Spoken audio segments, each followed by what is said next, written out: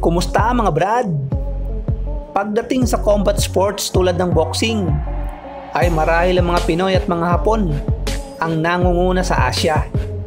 Ang mga Hapon ay may kasalukuyang limang champion.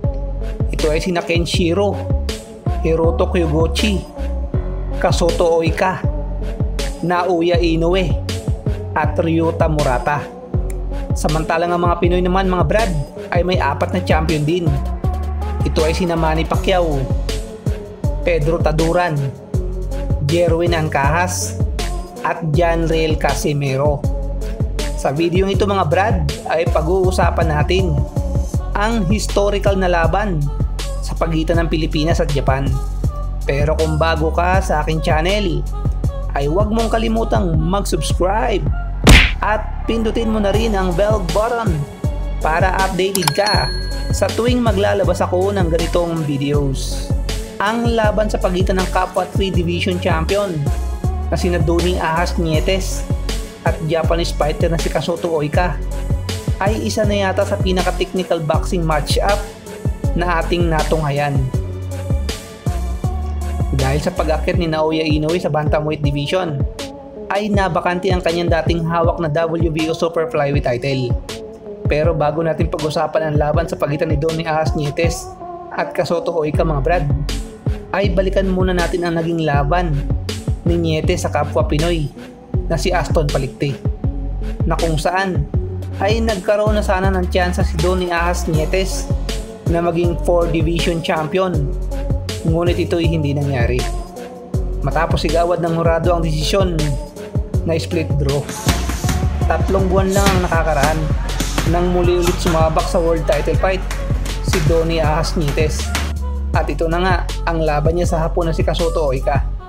Bago ang laban, ang Noy 29 anyos na hapon ay may kartadang 23 na panalo at nagtala pa lang ng isang talo.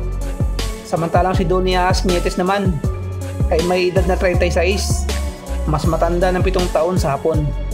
May kartadang 42 wins at nagtala rin ng isang talo. Ang kapwa boksingero ay naging champion sa minimum weight, light flyweight, at flyweight.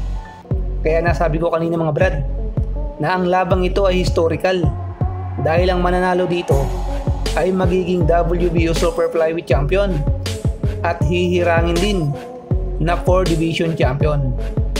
Panooring mabuti mga brad kung gaano kaganda ang labang ito at kung paano pinatunayan ni Donny Ahas na mas mahusay pa rin na boksingero ang mga Pinoy. Kontrolado ng Pinoy boxer ang mga naunang rounds. Kapag ganito kasi mga brad, na lumalaban ng sabayan o dikita ng kalaban, ay pabor ito sa Pinoy boxer na si Nietes dahil ito talaga ang kanyang laruan. Kaya naman siguro napansin ng kampo ng hapon na si Oika na matatalo ang kanilang bata kapag ganoong approach kay Nietes. Kaya binago はい、 nila ang 16 estilo 勝2 nito. 引き分けというニエテスのこのパンチ井岡を捉えました Kung nung una nakikipagpalitan ng kamao kay Nietes, ay naging counter puncher na ito at hindi na nakikipagsabayan sa Pinoy. Naging epektibo naman ang estratehiya ni Oika. Pero dahil experienced fighter itong si Nietes, ay nagawa pa rin ng Pinoy na tablahin ang adjustment na ginawa ng Hapon. Dahil sa sobrang dikit ng laban mga brad, ang isang hurado ay umiscore ng 116-112 pabor sa hapon na si Kasoto Oika. At ang dalawang hurado naman ay umiscore ng 118-110, 116-112, pabor naman sa Pinoy na si Donny Ahas Nietes para manalo sa laban. Tatlong buwan lang ang nakakaraan mga brad. Pagkatapos na mapanalunan ni Donny Ahas Nietes ang WBO title, ay binakante niya naman ito. Tinanggihan ni Donny Nietes ang kanyang unang title defense kontra sa Pinoy boxer na si Aston Palikte. Ayon kay Nietes, ay hindi na kailangan labanan si Palikte dahil malinaw na daw na siya ang panalo sa unang laban. Noong mga panahon na yun mga brad, ay humingi si Donny Ahas Nietes ng mas malaking laban o unification kina Estrada, Rong Bisay at Gonzales na hindi naman naibigay sa kanya. Pinaglabanan ng mga WBO top contender na sina Aston Palikte at Kasoto Oika ang titulong binakante ni Nietes. Sa labang ito mga brad ay nagawang manakaut ng hapon na si Oika ang ating kababayan na si Palikte at nakamit din ng hapon ang kanyang ika-apat na kampyonato sa magkakaibang divisyon.